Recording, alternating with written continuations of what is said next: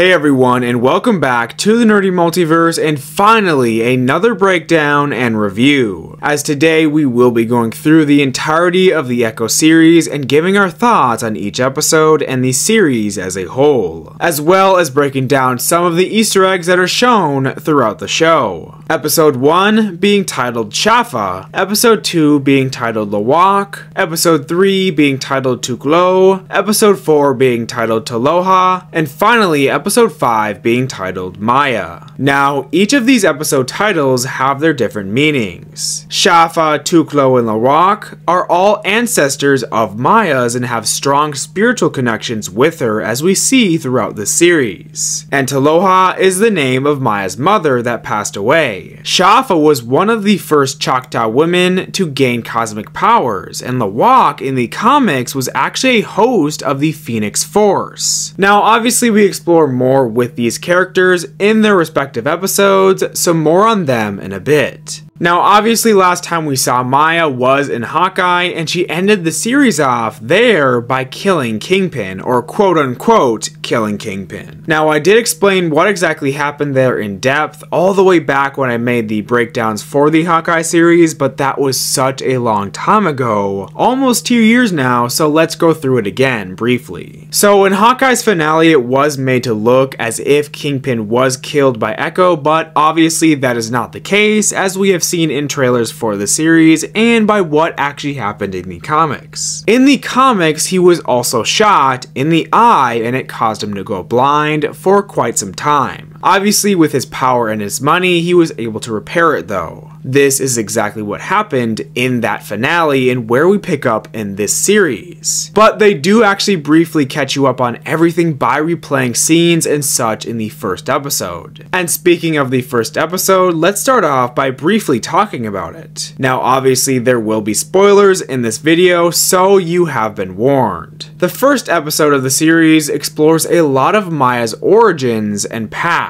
When she was a child, her mother's passing, and during during and before the Hawkeye series, and then of course very briefly the present day after the events of the Hawkeye series, and dealing with life after she quote unquote killed Kingpin. A great premiere for the series, in my opinion, that had the perfect mix of development, storytelling, backstory exploration, and of course, incredible action sequences, as well as a fun cameo or appearance of Daredevil and a fight scene that he had with Echo. And I am sure that we will be seeing a lot more of those two interacting going forward in the MCU, and I would not be surprised if Echo appears in Daredevil Born Again, as Echo and and Daredevil have a strong relationship and tons of interactions in the comic books. Episode 2, being titled Lowak, explores the backstory of Maya's ancestor, Lowak, and her connection that is sprouting within Maya herself and how her resilience and will to never give up plays into Maya's situations in this episode, as she returns back to her hometown and begins messing with Kingpin's operations that are still operating there, as she sends a message to his army and seeks power herself as it is time for a queen in her own words. Sending her first message and making her first move against Kingpin's operations by exploding their armory building and all of their imported products products, but something that will obviously not go unanswered. A very intriguing story driven episode that gave each and every character in it their own shine and a bit of storytelling as well. Which brings us into episode 3, titled Tuklo as we explore the third ancestor of Maya's and the cunningness that she brought to the world with her will to never stop fighting for those that she loved. This episode, we see a ton of conflict and not just the absolutely incredible action sequences. More specifically, Maya's conflict within herself and with her family that have now figured out that she has returned home without telling them. Her cousin being more upset that she didn't come visit her, and Chula being more worried that Maya is going to bring New York's problems to Tamaha. This episode was a bit of a slower run than the others, but not in a bad way. We got to focus on Maya's reunions with her family while also the emerging threat of Kingpin's return, and the phenomenal and gritty action that we got in this one really reminded me of the original Netflix Marvel series, bringing us into episode 4 titled Taloa. This episode sees the exploration of more of Maya's past and her upbringing with Kingpin, displaying displaying how ruthless he was, just as he was in the Netflix Daredevil series, but also displaying just how manipulative he really was with Maya.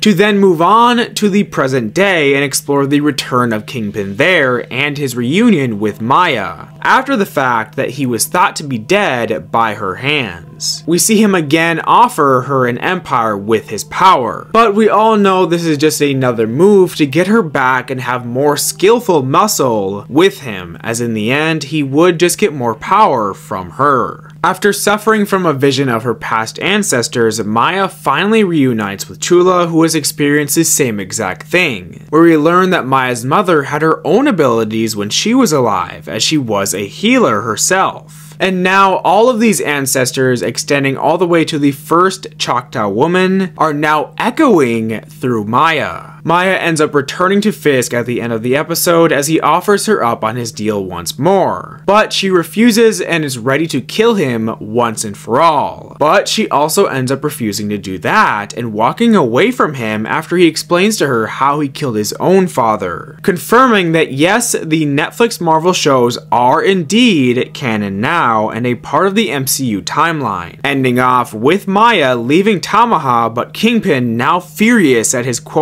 quote future heir has left him. I really enjoyed this episode as well. Now it may have dialed down extremely on any sort of action sequences, but it was a very interpersonal focused episode that had so many connections and incredible and emotional storytelling. Which, of course, brings us into the fifth and final episode of the series titled Maya, culminating everything from before into Maya's conclusion in this part of her story at least. As Chula said in the last episode, everything and everyone now echoes through her. In this episode, we see Kingpin make his final moves against Maya for the time being, as he goes after those closest to her and invades her home of Tamaha during the powwow. I think that this showed just how ruthless him and his forces are and how willing they are to get their messes cleaned up no matter the circumstance, even if it's during such a memorable and beautiful cultural experience. As he captures Chula and Bonnie, later holding them hostage and vowing to kill them and the rest of Maya's family in retaliation for all of this trouble. But once Maya returns back home, she is met by the spirit of her own mother, who guides her through her final steps in gaining her abilities and the courage to fight on, and let go of her internal pain. Now, with the powwow commencing and the beautiful culture of the Choctaw Nation being displayed for the crowds watching and the audience watching the series at home, they are also put at risk as Kingpin's men have surrounded the area undercover and are just waiting for a signal to attack and ruin everything. But of course, just in time, everyone comes together as Maya summons her powers in her brand new suit inspired by her own culture to take down Fisk and his men alongside Chula, Biscuits, Henry, and Bonnie, as she uses the mimicking and echoing powers of her ancestors to guide herself and her family to fight off the enemies. After taking everyone down, Maya goes after Kingpin, but instead of attacking him, she uses her healing ability on him, just as her mother used on the woodpecker when she was a child. Now, by doing this, they appear in Kingpin's own past, making him remember what he went through as a child and how it all led to him killing his abusive father. As she offers to free him from this pain and the memories that he keeps holding onto, which has forged him into the man that he is today ruthless and violent. They exit the visions, and Kingpin does get away, and it's not very clear whether or not Maya was really successful with her efforts or not, but either way, it doesn't really change much in the long run, as we see later on with Kingpin. Finally, coming full circle, Maya is comfortable with being home again and is happy to be with her family that she grew so distant with. As they sit down and have dinner together as a family for the first time in so many years. But as for Kingpin himself, the post-credit scene teases exactly what he will be doing next as he returns back to his empire and home of New York City. As he sits aboard his plane, the news plays on the television speaking of the city needing a candidate for a mayor. Someone who is willing to fight, a brawler. Exactly Kingpin's description. So I think it's pretty clear that we will be seeing Fisk run for mayor of New York City, which will likely take place in Daredevil Born Again. Where we can also assume, or at least hope, that Echo will return to the MCU as well. So we can see her storylines with Daredevil from the comic books get adapted into live action, and the future of her and Kingpin get expanded on even more. I have also also heard rumors that White Tiger will be making her debut in that series as well. But now with the Netflix shows being canon, could you imagine if Kingpin is forced to run for mayor? But now with the Netflix shows being canon, could you imagine if Kingpin is forced to run for mayor against another familiar face and name? That being none other than Luke Cage himself. Luke Cage has run and been mayor numerous times in the comics, and he would be a great political rival for Fisk, while the other heroes take on the underground and hero aspect of his other schemes. Now, I have seen so much hate and negativity regarding the series, and personally, I do disagree with it. I really love this show, and I think this was a perfect full introduction and exploration of Echo as a character, and setup for the future of these street level stories in the MCU, and what connections she will have in the future herself. I could honestly go as far as saying that this was my favorite Marvel series that they have done so far, excluding the Netflix ones, and the representation of the Choctaw Nation was beautifully done and executed in such a great manner, which was super awesome to see. The exploration of character, the tone, the music, the acting, the gritty action sequences, just about everything was absolutely wonderful in my opinion. The only nitpick or issue that I really think I have was with the final battle as it felt a bit rushed, but that was about it. Each episode had its own special attributes and standouts and the finale was a great send-off to Echo even with it being the shortest series to date, with there only being 5 episodes total, which honestly does make me want more. But of course, seeing Vincent D'Onofrio return back to his gritty and cunning roots as Kingpin was absolutely amazing, and Alaqua Cox was the perfect person to pick for Echo. I could not think of a single person who could play the character so well. Huge props to her, she went above and beyond. But yeah, overall, in my opinion, I liked every episode of Echo and I thought that it was a great series. As an entire series, I think I would give it an 8 or 8.5 out of 10. But of course, I would like to hear your thoughts on this episode and the series as a whole, so make sure to leave them down below. Thank you all for watching. If you enjoyed our breakdown and review on these episodes and the series, don't forget to give it a like. And with that being said, we will see you all the next time that we go through and explore the nerdy